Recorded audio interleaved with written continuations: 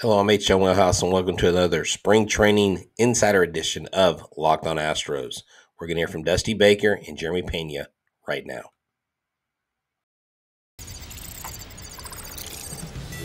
Alvarez hits a high drive center field. Vierling's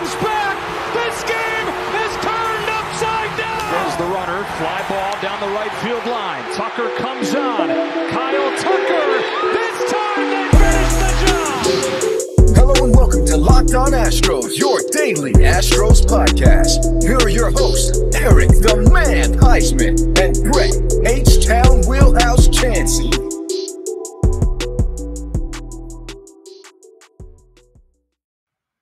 Hey there, everybody. Welcome to Locked On Astros. I'm H Town Wheelhouse. You can find me on Twitter, Instagram, and TikTok at H Town Wheelhouse. You can find me at Stros411 on Twitter, Instagram, and Facebook. Always positive, always Stros. You can find the show at Locked On Astros on Twitter, Instagram, Facebook, and TikTok. And remember, you can get us anywhere you get your podcast. It's free and easy to listen to. After you make us your first listen, make sure you make Locked On MLB Prospects your second listen with host ML with host um, Lindsey Crosby, who is a minor league baseball encyclopedia. That's right. So I want to get right into it. Dusty Baker's words on his um, just meeting with the press before they had their full squad scrimmage today at the field and just talking about the players coming here. He talks a little bit about Yordan Alvarez. So let's listen to what the skipper had to say.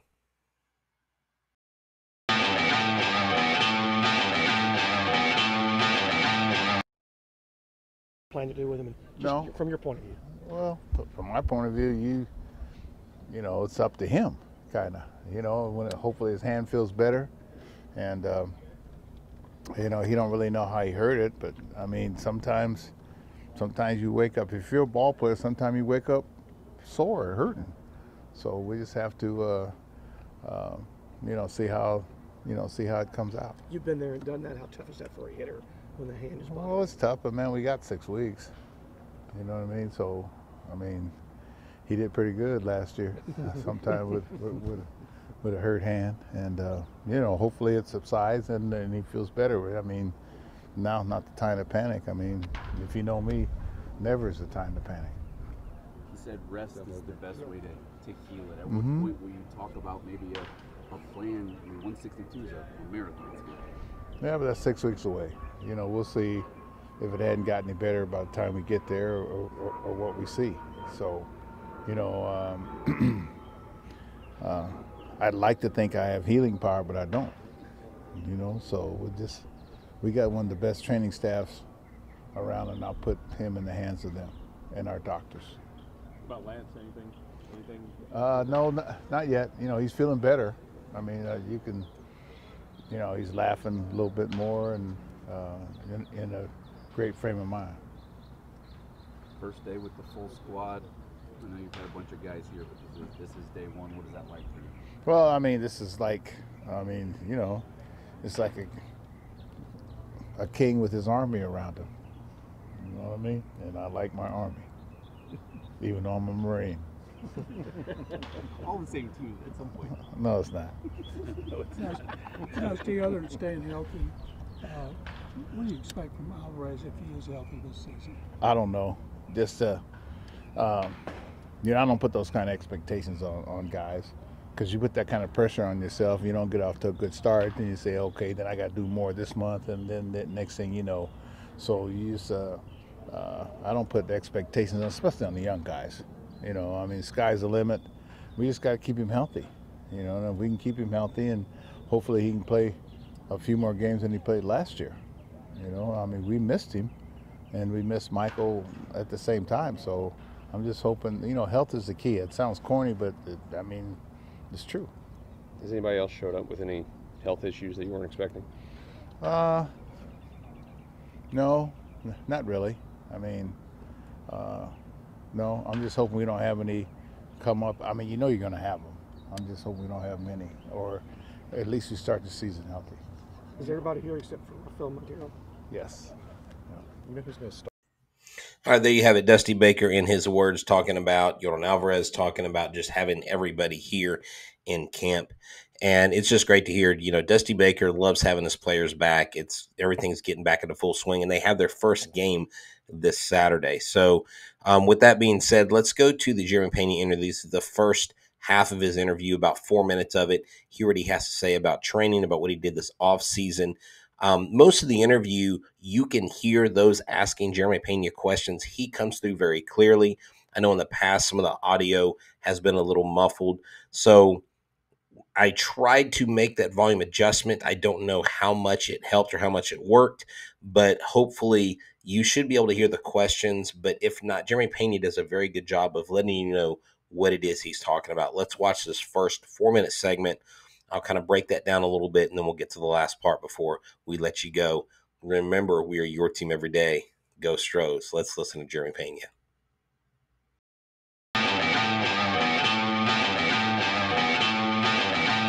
This year, as opposed to coming in last year. I mean, the focus is the same. The focus is still to use this time to get better, you know, and uh, yeah, get ready for the season. Are you more confident now than you were this time last year? I wouldn't say confidence hasn't ever been an issue. You know, I've always been confident playing this game, and uh, you know, I would say a little more comfortable with the guys. Um, but we have new pieces, and uh, you know, they're uh, easy to come in. Yeah. Jeremy, when you look at your season last year, what do you think was, was the turning point, especially offensively, that, that led to that surge in the postseason? I mean, we worked a lot during the season. You know, even though we weren't getting the results, you know, we still put the work in in the cage every single day, and we kind of stayed true to the process. And it was only a matter of time. You know, it's uh, we're already playing a hard enough sport. And you just gotta, you know, put the work in, and then just go out and have fun and compete. And that's what I try to do all year.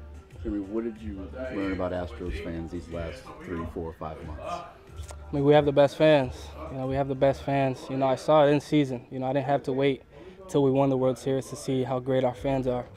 Know, these guys showed up every single day. Didn't matter. You know, Tuesday game, they were there.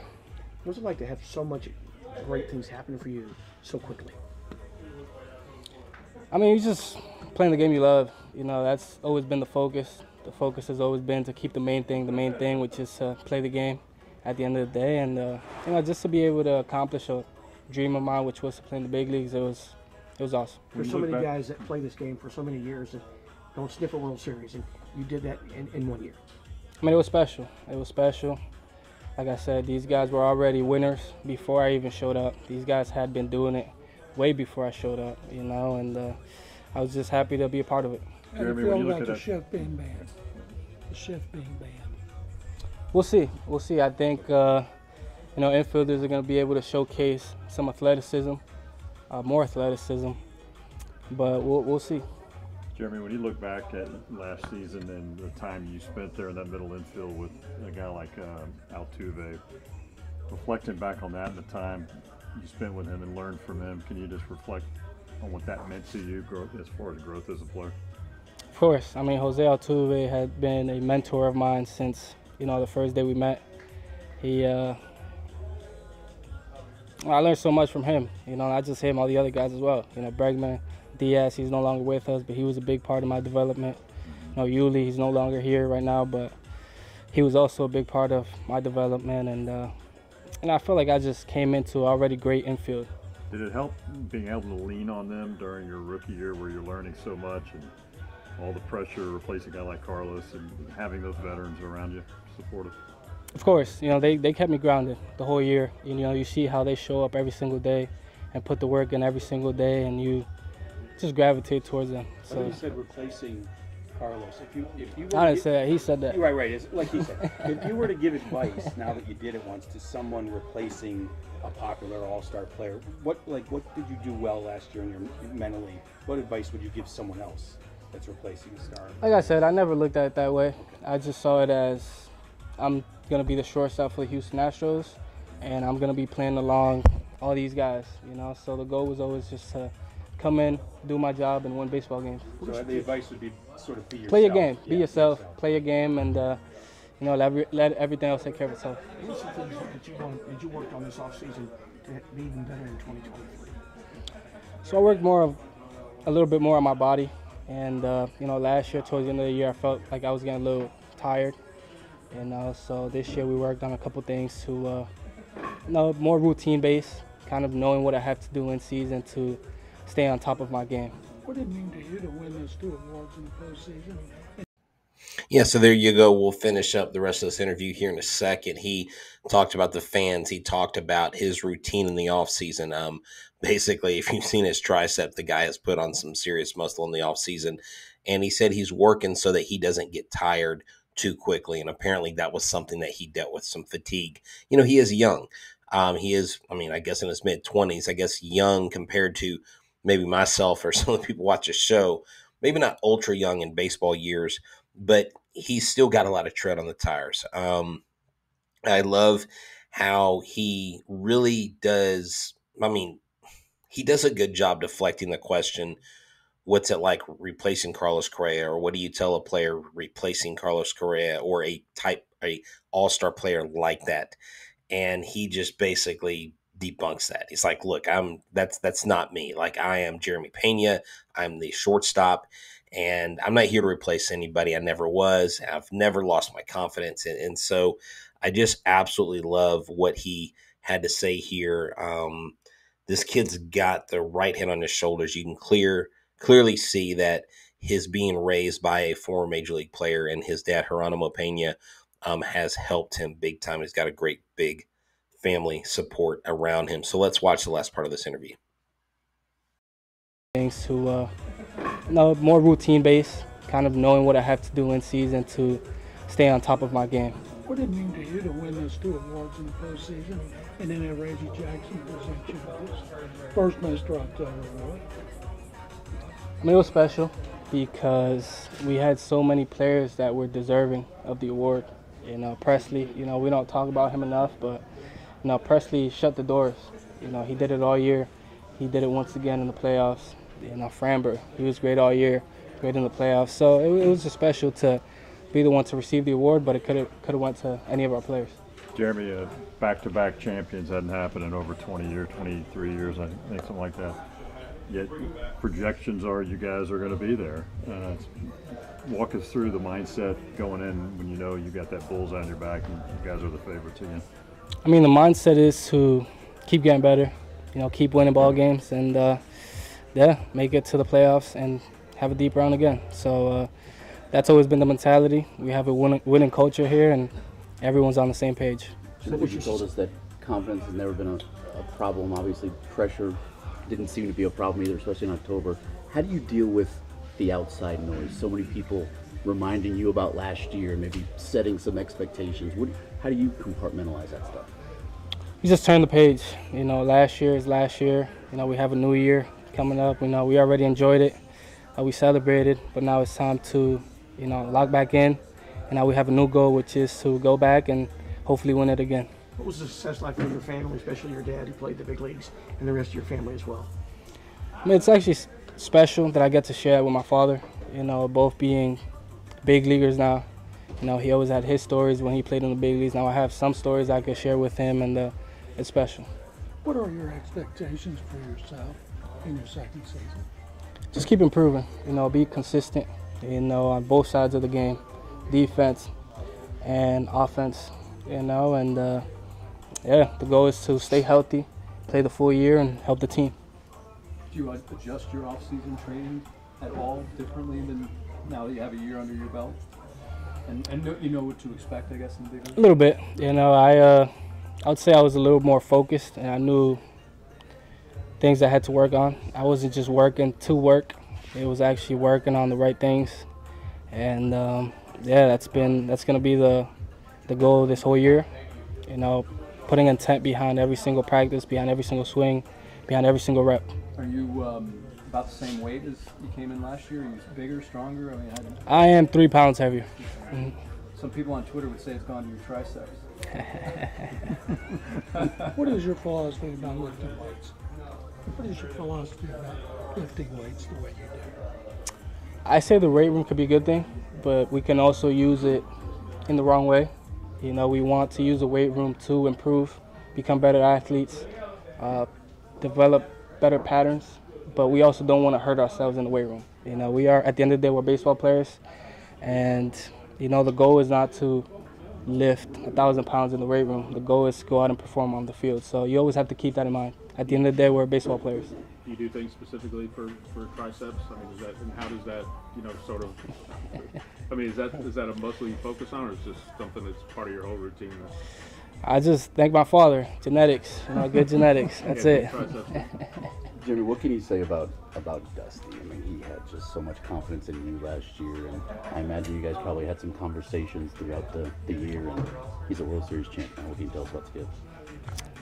I mean, he's you know my first manager in the big leagues, and you know he was great to me since the first day. You know he gave me all the confidence in the world. You know, even when I was struggling last year, he was still, you know, playing me. He was still giving me advice. He was still encouraging me to keep playing my game. You know, keep playing hard and have fun. So, you know, shout out to him.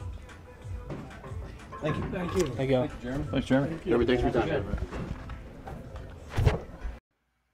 All right, and then you have it, Jeremy Pena continuing to talk about just all aspects of the game, how he's prepared for this season, and he got a lot of questions. Um, basically, the reporters were like, "So about those triceps?" And Jeremy Pena is like, "Good genetics." Um, John McClain at the end asked him about his workout routine, and I love what Jeremy Pena said because this is, I think, really important. And I'm not going to dive into this too deeply because I, I'm not a personal trainer or an expert in the gym. I know, obviously, I don't know maybe I can show you some pictures from a couple years ago when I was a little bit more bulked up and in shape. But he said in working out, they he doesn't think that as a baseball player he should work out so much that he causes injuries. And um, I can totally respect that because you will see these athletes, these younger athletes, bulk up. And we saw Bregman two years ago. Um, he he came in, he had he had gained about I don't know, it was like twenty something pounds of muscle and then he started having a lot of soft tissue issues. Now, I don't know if the flexibility played a part or the working out played a part in his lower trunk due to his his his upper half being heavier with more muscle because I'm obviously not the team physician. I'm not going to diagnose something I don't know much about, but it seemed like those injuries coincided with his bulking up Jeremy Pena seems to be moving, I think, a little bit more freer when you watch him take ground balls. And I know they're just routine and they're just out there warming up. But to me, last year he looked a little bit stiff. And this year, when he's running, he looks a little bit more flexible. He probably worked on that.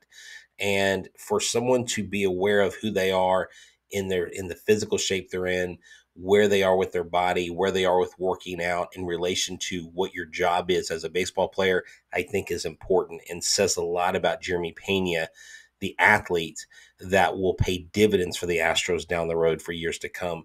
So there's Jeremy Pena in his own words. He's a World Series champion. He said it helped having the veterans in his corner, having the infield that he has. And this has just been another special edition of Locked On Astros podcast. We like to bring you these things during spring training. Um, hopefully, during the season, we can bring you some stuff like this, maybe with some press conferences after games. But I want to remind you to make sure that you make FanDuel your go to for sports wagering needs. FanDuel is the number one sports book in all of America. It is our choice here at the Locked On Network. And since the NBA season is halfway through, you can go and be a new customer and have a no sweat first bet up to $1,000. That's bonus bets back. If your first bet doesn't win, then you can bet on everything from money line to points scored and three pointers drained. That's right. Plus, FanDuel even lets you combine your bets for a chance at a bigger payout with same game parlay. So don't miss this chance to get your no sweat first bet up to $1,000 in bonus bets when you get fanduel.com slash locked on. When you go to fanduel.com slash locked on to learn more, make every moment with FanDuel an official sports betting partner moment of the NBA. So thank you for tuning in to Locked on Astros once again. I just wanted to show you guys the interviews that I was able to get a hold of of both Dusty Baker and Jeremy Pena. Remember to subscribe to us and listen to us on on the way to work, on the way home, wherever you get your podcast. We are your team every day. Go Stros.